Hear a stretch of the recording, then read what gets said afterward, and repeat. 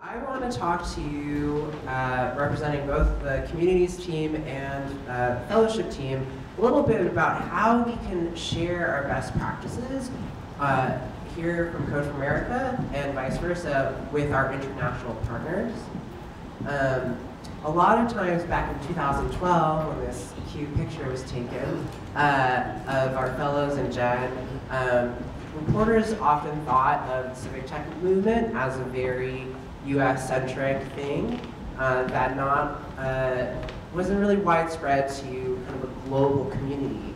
But that's what um, civic tech and the civic hacking movement is. It's a global community whose language is as much Spanish, uh, Chinese, Tagalog, as it is English. And the texture of that conversation is not just in code, right, but it also in languages spanning the entire world.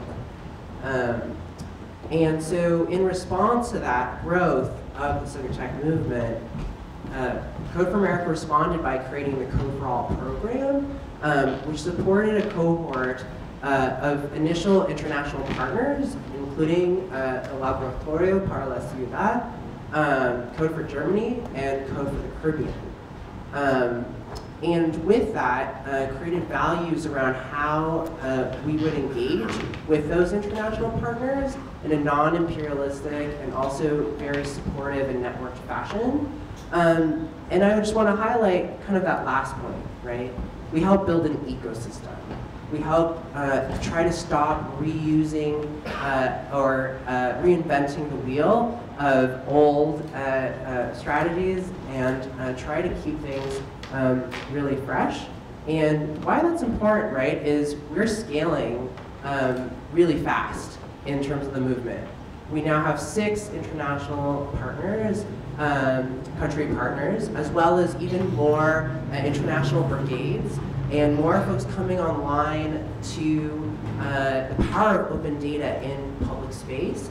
Um, and so it's becoming more and more important, more pressing, right, to figure out how can we share our resources in a really networked way and how can we make that scalable so we can, um, as Catherine Bracy, our communities director likes to say, take ourselves out of the center, right? And really create a, a really resilient network of support among our international partners. Um, so when we learned about kind of these challenges um, that are coming up in our kind of overall network, I collaborated with Lynn Fine, uh, who's our international program manager, to really think about how we can really uh, work on, on, on, these challenges. Uh, today, she uh, congratulated uh, Code for Mexico City on finishing out their first fellowship class ever. So awesome. Good job, Lynn. Um, woo! And Code for Mexico City. Um, and what we did was we really researched and dived deep into all of our partners um, uh, who had started a fellowship, like Code for Caribbean, uh, who just wrapped up in March. Um, they were working on stop it, stopping uh, livestock theft, which I think is so cool, um, as well as um, looking at uh, kind of the um, challenges faced by a lot of our other um, uh, partners coming online um, with a fellowship program.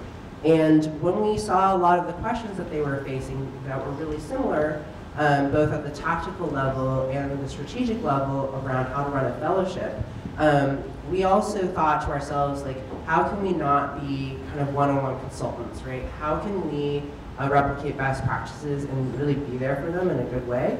Uh, Code for Australia as well.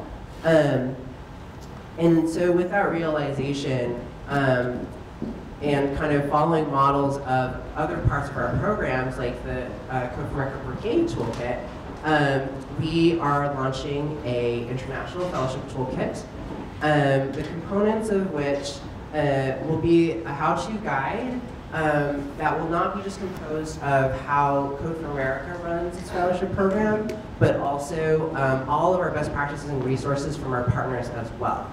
Um, and it'll range from both like really high level stuff to really tactical examples.